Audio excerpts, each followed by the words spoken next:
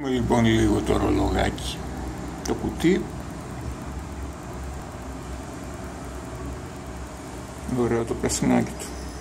Λοιπόν το έβαλα προηγούμενη Παρασκευή, το συγχρόνισα τότε και είμαστε τώρα στο... Ε, πλην μισό. Not bad, not bad at all κέρδιζε λίγο στο χέρι. Έχανε λίγο αν το άφηνες με την κορώνα πάνω. Μιλάμε για δευτερόλεπτα. Πολύ καλός μηχανισμός κυρίες και κύριοι. Για να δούμε λίγο. Ίσως καταφέρουν να φανούν τα ψεγάδια που σας έλεγα.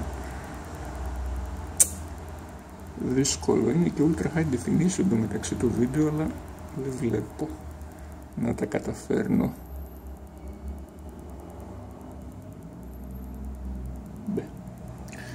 Να το βάλουμε και λίγο.